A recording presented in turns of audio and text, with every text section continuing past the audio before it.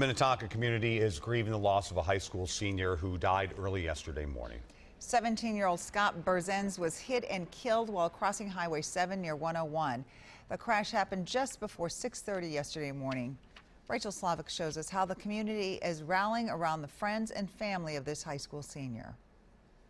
At Minnetonka High School, support for the Skipper community is usually shown in shades of blue and white, but on this day, students and staff are wearing a different color. Uh, we wanted to show support for uh, a, a fellow classmate and then to stand together kind of as a class. Seniors Owen Leyland and Jack Kiernan are honoring the life of 17-year-old Scott Burzens by putting on his favorite hue. Even like if we didn't know him, it just means so much to probably the family and everyone for support.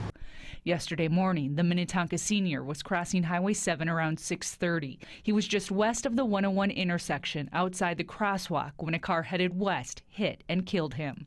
This impacts not only the students within our building, but the entire community. Classmates and staff are remembering Scott as a caring friend who loved music. He started playing the guitar at age 11.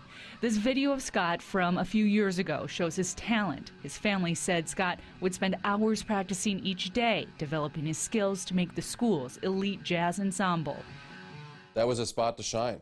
That's where he felt comfortable. That's where he found success. So it was, uh, it was pretty amazing. In a big school, it's impossible to know every classmate, yet Scott's talent made an impression on this Minnetonka community. Just a very positive person and um, really known for his, for his skills. Rachel Slavik, WCCO 4 News. Scott's family believes that he was crossing the street after picking up a snack from a gas station.